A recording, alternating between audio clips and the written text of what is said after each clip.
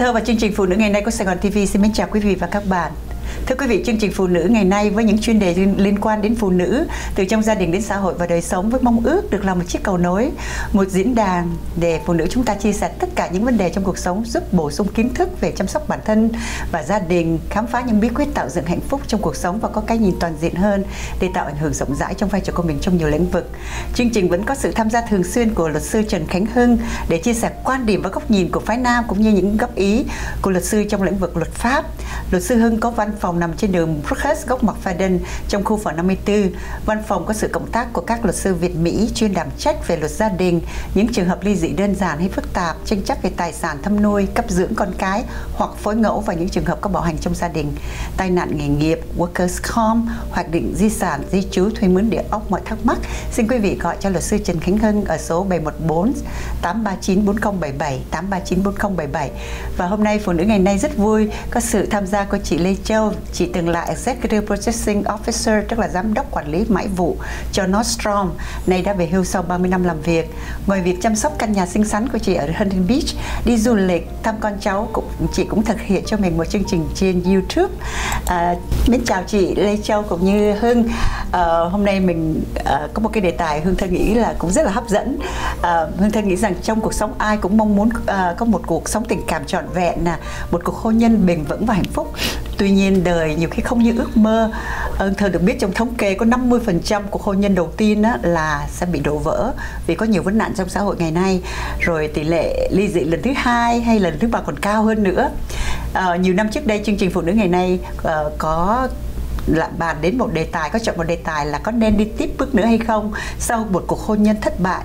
Thì hôm nay ương thơ được một yêu cầu của một khán giả trung thành là nếu phụ nữ à, chúng ta sẽ nói về phụ nữ đa số nhưng mà có thể các các ông luôn. Mà sau khi ly dị hay vì người phối ngẫu qua đời ở giai đoạn vào thu nửa đời tức là ở tuổi trung niên đến cao niên á và sẽ thách cô đơn vậy thì có nên đi tìm một người bạn đời một người à, người tình mới để cùng nhau đi nốt đoạn đường đời hay không và tìm ở đâu và như thế nào? À, thấy cái lý do đầu tiên có lẽ là uh, trai thừa trai thiếu gái thừa hiện đại trong tại vì lúc mà hương thơ đi là đi chơi đi tiệc tùng hay là tổ chức ờ, gần đây có tiệc tổ chức các show nhà có giả vũ thì hương thơ thấy đa số các bạn hương thơ đi độc thân nhiều quá mà cứ yêu cầu hát nhạc nhanh nhạc new wave nhạc cha cha cha để có họ có thể nhảy cùng nhau chứ nhạc slow thì không có partner. À, mặc dù à, cái thống kê mà hương thơ thấy từ các nhà dân dân số học á thì họ nói là trai thiếu mà gái thừa đang đe dọa thế giới vì sự chênh lệch giới tính à, đang gia tăng cao nhất là các nước Trung Quốc và Ấn Độ.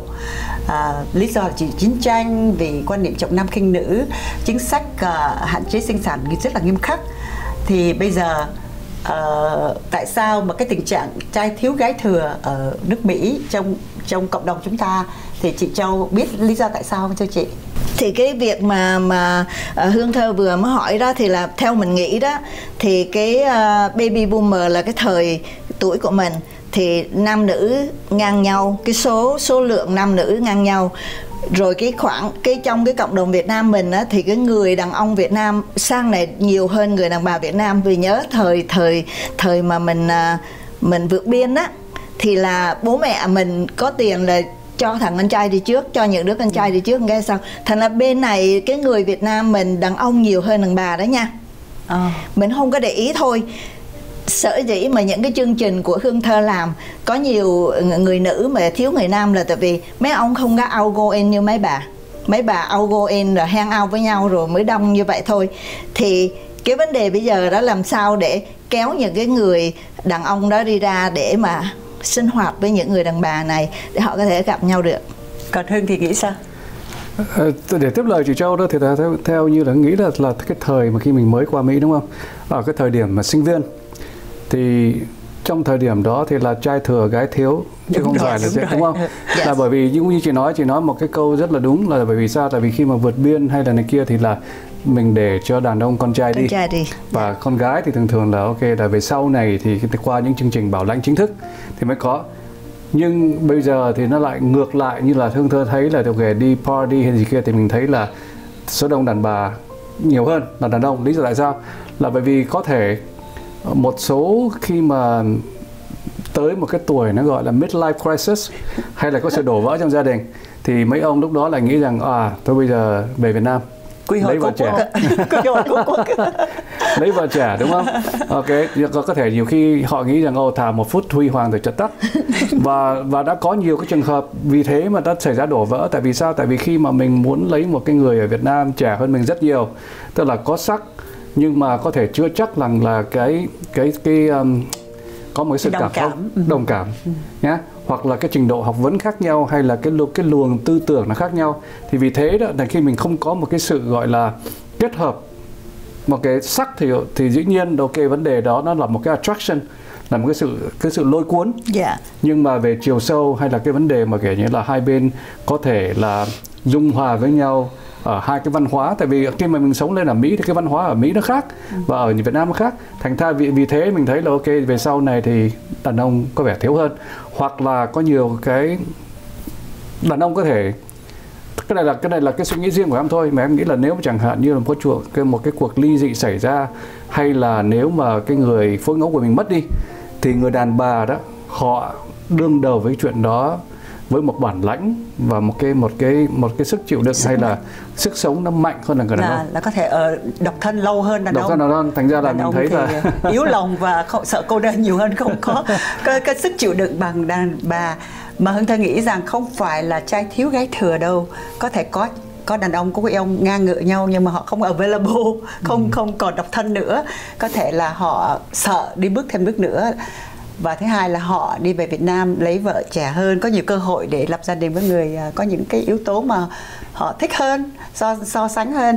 Và có thể những người đàn bà bây giờ ờ, độc lập hơn nên họ cũng không cần phải sống với một người đàn ông để ừ, có một chỗ nương tựa. À, và hưng thơ nghĩ rằng người đàn bà sống lâu hơn người đàn ông có thể đó là một cái lý do. À, mình thấy có nhiều đàn bà độc thân về tuổi về chiều thì đông hơn.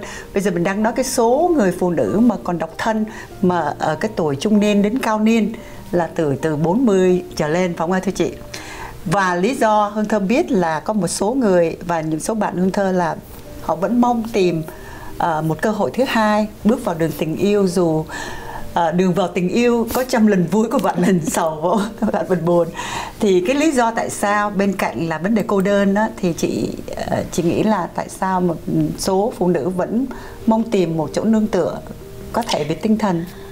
Ờ, theo châu nghĩ nha cái cái the take two to tango là cái người đàn bà đó họ phải uh, outgoing uh, thương thương chính mình trước đầu tiên thương chính mình trước thì đừng có quên là người đàn bà mình cái cái lụa là nó làm cho mình đẹp hơn. Make up nó làm cho mình đẹp hơn. Tới cái tuổi mà ờ, sáu bảy mươi tuổi như mình á mà không có make up không có son phấn thì không không có lúc ra làm sao hết. Mình phải thương mình hơn mình phải biết diện vào để mình đi ra ngoài. À, mình đi chơi với bạn gái nhưng mà mình làm quen với những người bạn của bạn gái đó à, anh em của cái người bạn gái của mình họ hàng của những người bạn gái của mình những người quen giới thiệu cho mình thì là mình tin tưởng hơn. Cái chuyện mà kiếm người yêu mà go online là mình sợ lắm. Mình thấy cái điều đó rất là nguy hiểm cho người đàn bà Việt Nam mình tại vì mình không có gặp người ta không có không có hiểu biết nhau được. Thành ra cái điều đó nó rất là quan trọng là mình ở trong cái cái cộng đồng mình mình quen nhau bạn bè mình mình giới thiệu cho nhau tốt vâng. hơn vâng. À, hưng cứ nghĩ là cái lý do mà phụ nữ muốn bước thêm bước nữa ngoài cái nhu cầu về tình cảm cần có một vì cái có nhiều người một số phụ nữ như hương thơ chắc hương thơ sợ sống mình buồn lắm nên ngoài cái vấn lý do đó còn những cái lý do nào khác như tài chính. Có thể có những số người phụ nữ lại không độc lập đủ về tài chính hoặc cần có một chỗ. Theo không nghĩ thì nó không phải như vậy tại vì khi mà bước vào cái tuổi trung niên á thì có đã là phần đông đã qua một lần đổ vỡ và khi mà mình đổ vỡ như vậy đó thì mình tìm cái gì? Tại vì khi mà cái tuổi trung niên tức là là ở cái với với người phụ nữ hay là người đàn ông thì đã có một cái nếp sống đã có một cái sự um, trưởng thành. Và có thể là mình đã có một thành công ở mức độ nào. Ổn định người ổn định rồi vấn đề tài chính. Thành ra nó không phải thuần túy là để mà kiếm một cái người để mà mà bảo bọc cho mình về vấn đề tài chính thành giờ thành thử ra ở cái cái ở cái lứa tuổi đó thì người khi người đàn phụ nữ họ kiếm một cái người để có thể chia sẻ yeah. với mình nhiều hơn để có một sự đồng cảm để mà tức là vui buồn có nhau thì tôi nghĩ nhưng mà à, nhiều khi như chị Châu nói đó như là và chị Châu nói một cái câu rất là là và hay là là mình tự thương mình trước là bởi vì khi mà mình muốn để mà có quen một cái người nào đó thì mình phải làm sao để cho mình có một sự tự tin. Và tự tin nó thoát từ bên trong ra tức là mình phải làm sao để cho mình mình thấy rằng ok là những người khác nên gặp mình hay là mình tự tạo cơ hội cho mình thí dụ như chẳng hạn có nhiều người ở một cái tuổi nào đó thì họ sẽ làm những cái công việc mà trước đây chưa bao giờ họ làm thí dụ như là họ họ gia nhập một cái hội thí dụ như là có thể là khiêu vũ hoặc là cắm hoa hay là đọc sách hay là hay là đi uh, thí dụ như là hiking, hiking. camping yeah. Dạ. đó thì như vậy đó thì họ có cơ hội hơn để mà gặp và mình trước khi mà mình đi mình gặp cái cơ hội đó thì mình phải làm sao mình có một cái sự chuẩn bị để cho mình mình tự tin và mình mình cảm mình tức là trò cho cho những người khác thấy rằng là mình có những cái ưu điểm Yes. Yeah. Vâng. Trước khi chúng ta đào sâu về cái phương cách làm sao chúng ta tạo cơ hội để tìm gặp những người bạn mới thì Hương Thơ xin được trở lại với câu hỏi là uh, những thách thức uh, khi mà mình uh, muốn đi tới một cái quan hệ tình cảm thì để nói um, đối lại cái câu mà Hương vừa trình bày là không cần về nhu cầu về tài chính. Thực sự trên thực tế đó khi mà lớn lên ai cũng thực tế đó. Giống như chị Châu trước khi chương trình chị Châu nói tuổi đến bây giờ chị yêu cái tình yêu cũng cần nhưng mà cái vấn đề thực tế là cũng được mình cũng nên nghĩ tới. Hưng thơ có những một số bạn là ổn định tài chính đã về hưu cũng có tiền hưu khá. Nhưng mà khi tìm một đối tượng đó họ cũng muốn người đó không là một gánh nặng tài chính cho họ. Họ không muốn không nương tựa thì thôi không họ không muốn người khác nương tựa họ. Thì đó là một cái thực tế mà khi mình về già rồi mình đâu có phải mình phải nuôi một người khác để vì vì nhu cầu tình cảm. Unless không cũng trường hợp ngoại lệ là mình có dư giả tiền bạc. Rồi um, những cái thách thức bây giờ trở lại cái thách thức như chị nói là khi ở tuổi trung niên ở tuổi vào thu với xế chiều đó khi mình tìm bạn tình cũng có những cái thách thức khó khăn. Như chị nói là tìm kiếm online này kia đó thì hương thơ cũng có một số người bạn quen online rồi, nó cũng gặp những cái vấn đề mà hơi hơi kinh ngạc á tại vì mình ở gần mình còn không không hiểu nhau chỉ ở xa. Không, không xin lỗi bây giờ phải ngắt lời hương thơ là vì kinh ngạc là bởi vì mình thấy là cái hình ảnh nó không có trung thực đúng không? đúng, đúng, đúng không? Thì mình thấy là ok đẹp không ạ? Yeah, mình thấy là cái hình ảnh mà mình hiện lên ở trên cái, những cái cảnh như là uh, cái cái matching yeah, Alan Delon đó, bởi vậy mình thấy là nó là có lẽ là cái hình đó là là 1900 hồi đó. nhưng mà nhưng mà khi mà gặp mặt nhau thì lúc đó là hỡi ơi dạ vâng. đúng đúng vậy đến đây một là chúng tôi xin được tạm ngưng vài phút và sẽ trở lại để tiếp tục cái đề tài mà hương thơ nghĩ rằng rất là thực tại rất là cần thiết cho những ờ, người ở lứa tuổi trung niên trở nên đang cô đơn và đang có ý định tìm kiếm một uh, người bạn đời, một người tri kỷ để tiếp tục đi cùng với nhau trên suốt con đường đời còn lại. Xin quý vị đừng rời máy, chương trình Phụ nữ ngày nay sẽ trở lại ngay.